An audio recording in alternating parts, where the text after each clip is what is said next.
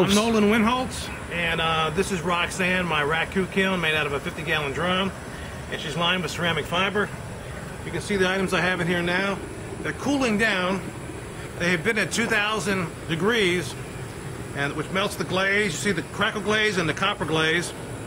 And I'm going to go ahead and cover it up. I'm going to pull out right now two items. The first one's going to be copper, and the second one's going to be a, a variety of crackle glazes.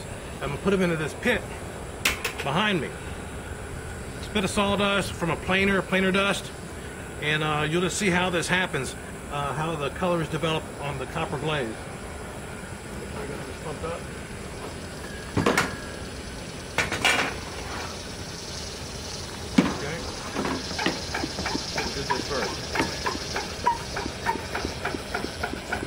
What is in this bottle is 70% alcohol, rubbing alcohol and you'll see how I treat the glaze with the rubbing alcohol.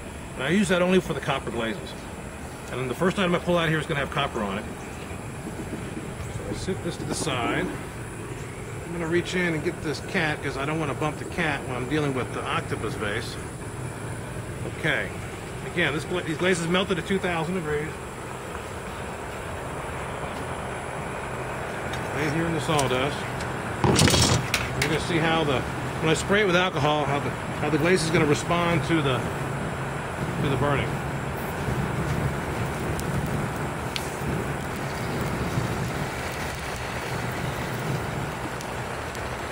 Okay, now, that's the first one. And the second item I'm going to do is going to be all crackle cats, calico happy cat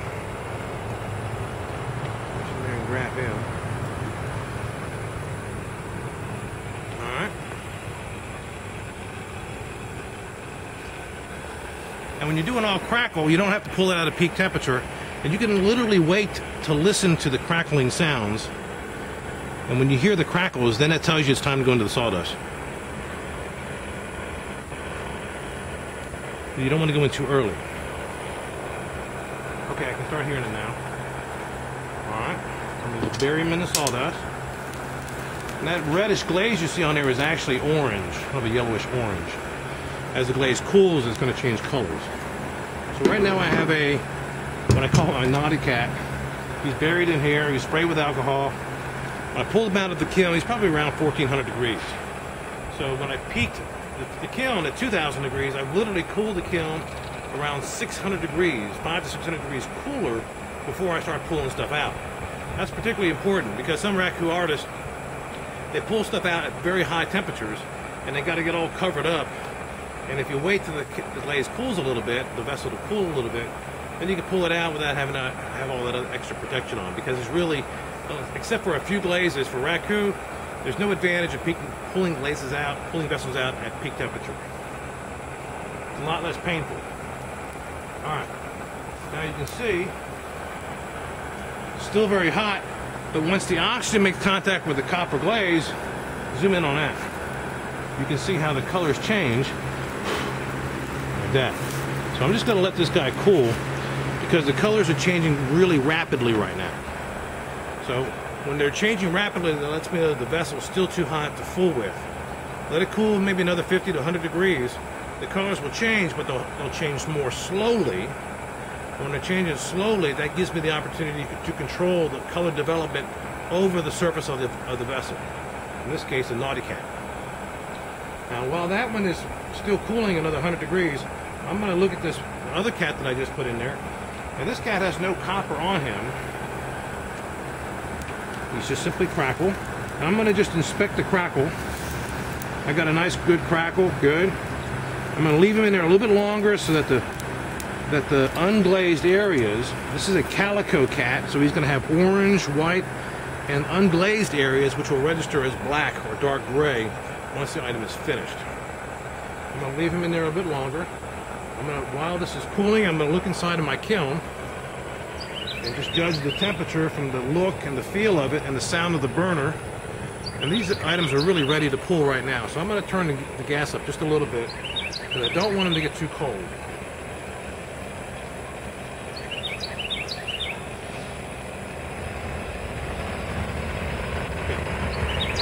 Hold these at temperature.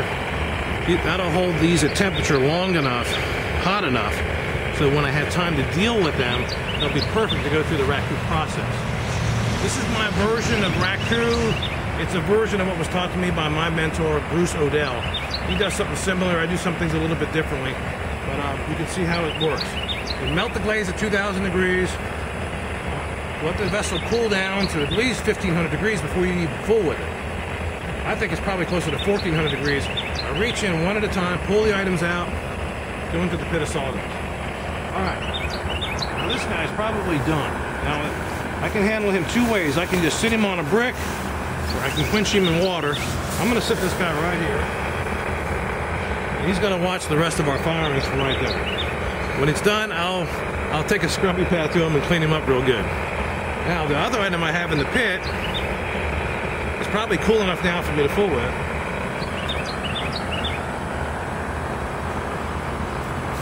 watch the colors change as the oxygen makes contact. All right. This is copper calico, I call this. You got copper glazes becoming all these different colors. This side cooled a little bit too fast. I'm going to reheat this. Wanted to show you this because if you're not satisfied with the, the way the glaze is looking, since this was the first item fired, the pit was kind of cold, so certain areas cooled faster than other areas. So rather than leaving it dull, I'm going to go ahead and hit it with a quick shot of heat with this torch, and then I'm going to reintroduce it to oxygen, and hopefully get a much better effect. See, when you're in business and you got to make everything sellable, you can't have an item that's just a ho-hum. You got to make sure it's beautiful. Now, when I get these reds and blues that I like, I'm going to cover those areas up. I'm going to move them around. I'm going to work this vessel, blow on it a little, little bit, try to get some extra oxygen to it. Wait for the reds to come up. The golds are coming up. The reds are coming up. This area is still a little cold. Little red. That's nice. Nice color there, nice color there, nice color on the face. Okay, now I'm gonna need you to back up so I can take it and quench it in the water. So I shake the sawdust out of the cat, I go into the water and hold on to it. Hold on to it just for a few seconds. Hey guys. Let me get nice and cool before I turn him loose. Alright, I'm just gonna let him sit in there for a few minutes. It's important to hold on to the vessel so it doesn't crack and pop in the water. All right. Now that you've seen these two items done, one with the crackle, one with the copper, now you're going to see me pull out the big guy. This is a vase I made. It's for my friend who has ordered it, a good buddy, Jack Masters from uh, Louisiana Tech University. We went to college back in the, the mid 80s. And uh, he saw this online and he said, I got to have one of those. So I made this just for you, Jack Masters. This is it. She's coming out. Okay, there it is. I gotta reach in there, grab it, such a way as to not open this up just a little bit further. Let's do this.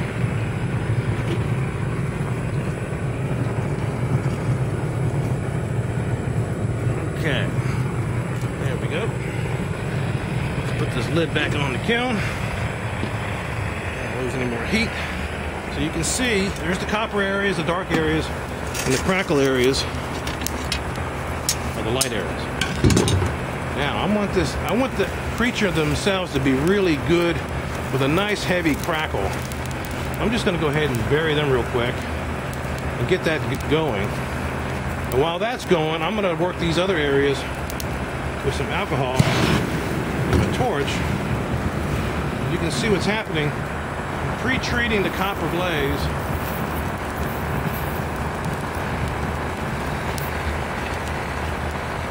Pre-treating the copper glaze so that when I later expose oxygen to it, I get the best results. Right now I got a good crackle on the head, uh, the tentacles of the creature, so I'm going to spin it around. I'm going to treat the other areas with flame.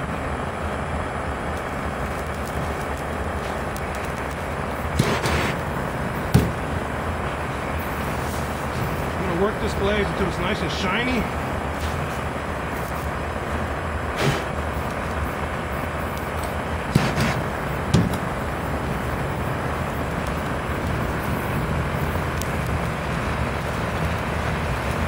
See my, uh, I buy a box fan every couple of weeks. Alright.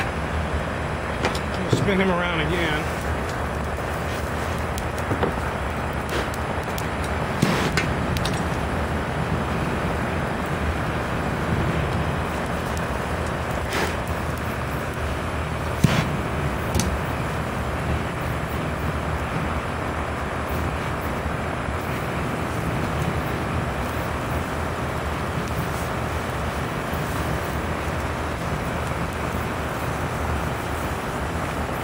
Do this without the box fan, but it, flames sometimes will spin around and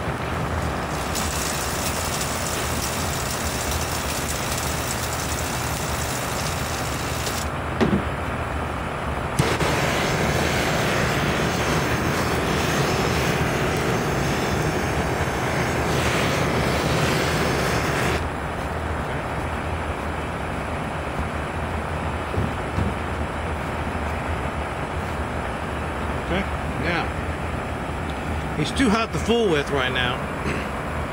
Colors are changing very, very rapidly. So I'm just gonna let him sit there and cool for a few minutes. Wipe the sweat off my face.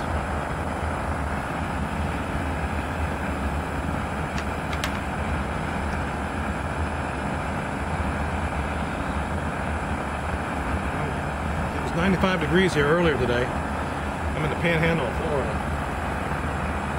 Right now the sun's down behind the building, not too bad, not too bad at all. You can just well imagine it's 100 degrees out here, what this is like. This is a temporary location for my kilns. This building you see behind me is going to be my studio. We're going to pour slab, and I'm actually going to set up a bigger raku kiln.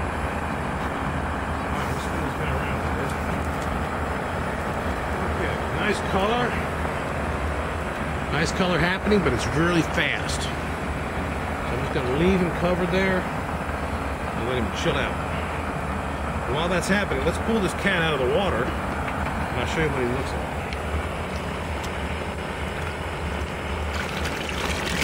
Wish we had the bright sunlight.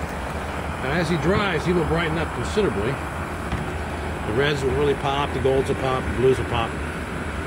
And a lot of this carbon you see on his belly and on his face, that will scrub off with a little Scotch-Brite pad. And uh, we'll get whiskers, a feather, and he is called my naughty cat.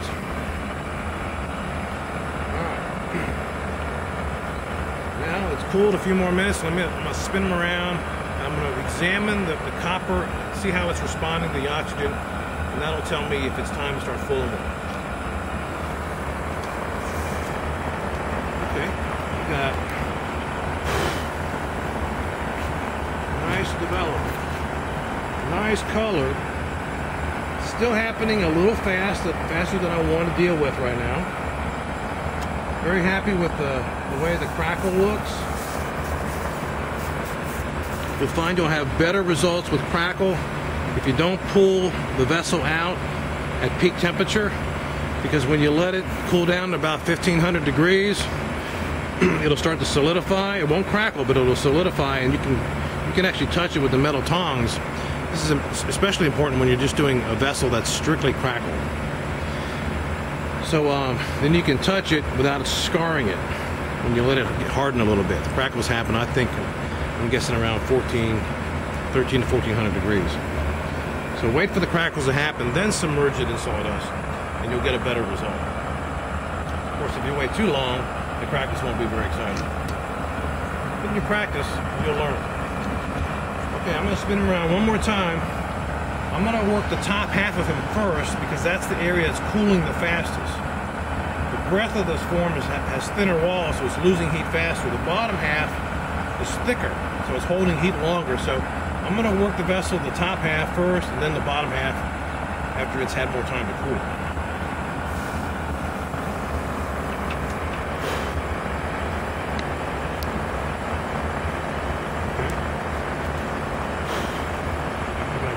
color. The neck's a little dull.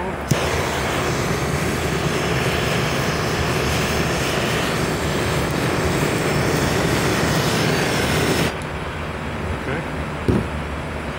A good color here. I'm gonna look at it one more time, give it a quick shot of oxygen. Move it around. All right. Good color there.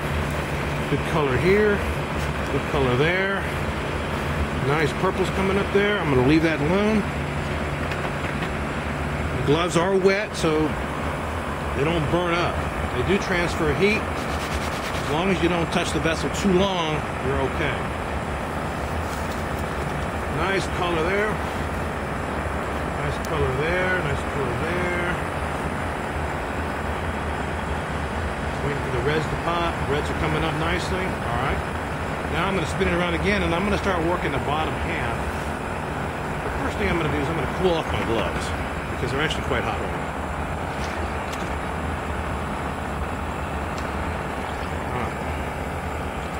That's.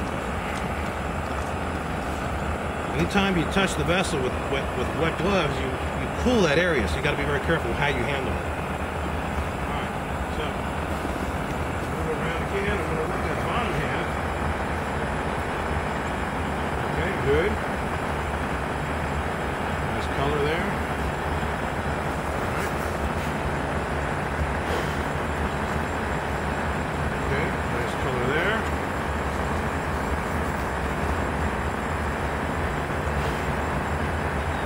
Nice color here. I'm almost ready to out into the water. A little more color here. I'm going to give it a final inspection. A little more reds here.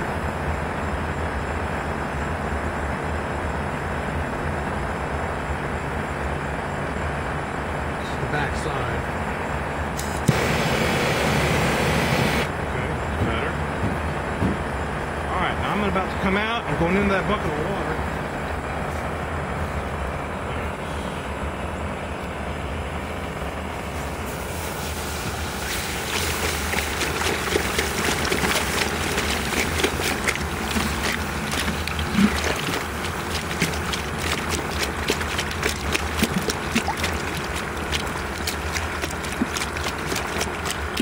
Be careful not to submerge the heads of the octopus too too much and too long. In case any steam builds up inside of them, I don't want them to pop. It's really a bummer to get it all the way through the process and have them break at this point. So, now I'm pretty confident that everything is cool enough where it's not going to be in any danger. I can leave it in the water and dump it out. You see how it's cool enough where the water is not drowning too fast. Still hot. I'm going to leave them in here for just a minute. All right. Tomorrow I'll take some photographs in the sunlight. They'll look really nice and bright. Okay. Now, so many of you who have done Raku, this is a bit different than what you've seen. You don't have to do it this way. Way it kind of freaks people out when they watch me do this. That's okay. Let me get this bird. This is my dodo bird.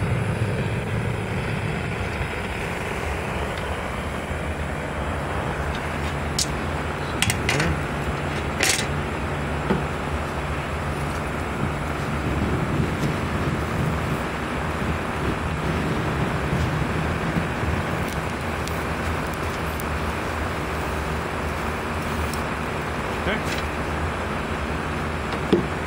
Get that copper looking really good and bright and glossy.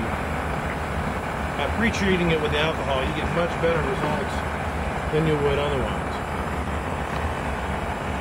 All right. That's how I do it. Yeah, this is Nolan, Round Tree Pottery.